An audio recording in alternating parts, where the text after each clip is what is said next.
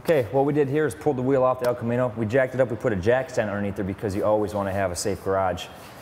And what we mentioned earlier is I don't think we're going to stick with these factory wheels. We're going to have an aftermarket wheel on here that will show off this caliper. And we certainly don't want to show off this particular caliper because of how ugly it is. So what we're going to use on here is some of the VHT caliper paint. This caliper paint is good up to 900 degrees. So if you get your brakes nice and hot, it's not going to come off. Considering we're going to pull this caliper off, we're to use the spray. Now, this project can be, you know, this paint can be applied on the vehicle, you know, without move, removing the caliper, and that's where the Duplicolor kit comes in. This is a brushed kit, comes in a little pint can, a brush, everything you need to complete the project, and it even comes with the caliper spray to clean the caliper. So that can be applied while the caliper is on the vehicle. We're gonna pull this one off. I think we might change these brake pads while we're at it. And uh, I think it should come out real nice. What we're gonna use here is the Duplicolor caliper cleaner. And like I said earlier, any caliper cleaner will do. Considering this comes in the, in the Duplicolor kit, that's what we're gonna use. And you can see how dirty this caliper is here. I mean, it's just covered in brake dust. Okay, what we did here is we pulled the caliper off as we uh, showed you. We uh, sprayed it down with some of the caliper cleaner and saw that there was some blue paint on there. The caliper cleaner was able to dissolve some of that blue paint and then I took a wire brush to it and scrubbed it all down got the grease and grime off there, and uh, the majority of the blue paint came off. And with the engine enamel, the caliper paint is good up to 900 degrees and you do not need a primer as well. You can just prime right over top of the clean surface here.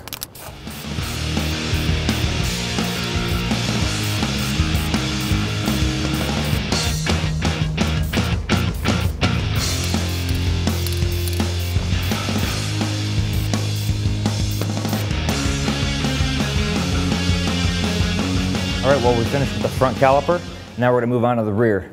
The rear is gonna be a little bit different here. So what I, what I wanna show you here is uh, these older cars, they had drum brakes in the rear. A lot of new cars have calipers all around. Pull this off and see what we got. You know, as, as we did earlier, we jacked up the vehicle, put some jack stands underneath it because you always want to have a safe garage. And uh, here we have a, an unpainted uh, brake drum here. The front caliper in the front, as you saw, was previously painted blue. This one here is bare, so uh, give us a nice uh, clean slate to work with. All right, well, uh, what I did earlier was I pulled the drum off the vehicle. I have it here on the table. Unlike the caliper, we're able to take this drum off just because the caliper, uh, you know, pulling the brake lines off of that, and then you have to deal with rebleeding the brakes and things like that. So, you know, in that case, it was a little easier to paint the caliper while I was on the vehicle. In this case, we're able to get the drum on the table make it a little easier to paint. And what we did first was we knocked all the, all the rust off of it with the wire brush. You're able to purchase that from any auto parts store. Another way to clean it is uh, just go ahead and sandblast it if you have a sandblasting cabinet in your own garage, but not everyone has that. So uh, just use the wire brush on this. And uh, after that, we use the prep spray. With the prep spray, I was able to get any grease, grime, or contaminants and a lot of the dust that was left over from uh, knocking, knock, knocking it off with the wire brush. So that went ahead and cleaned it. And uh, next I'm going to apply the caliper paint. With the caliper paint, it's good up to 900 degrees. And uh, considering these brakes probably won't get anywhere near 900 degrees, I think we'll, we'll be good to go there. So I just want to start spraying here. And uh, as mentioned, we don't have to use a primer on this. It's a self-priming paint. It's a very durable enamel it gives off a very nice glossy finish.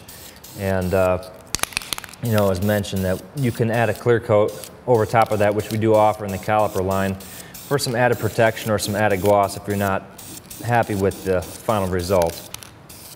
And uh, you certainly always want to have proper ventilation in your shop whenever you're spraying paint. If you don't, you're going to want to wear a mask.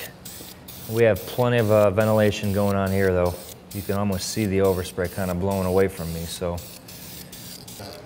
okay, well we waited about five minutes and uh, now we're gonna start putting on the second coat.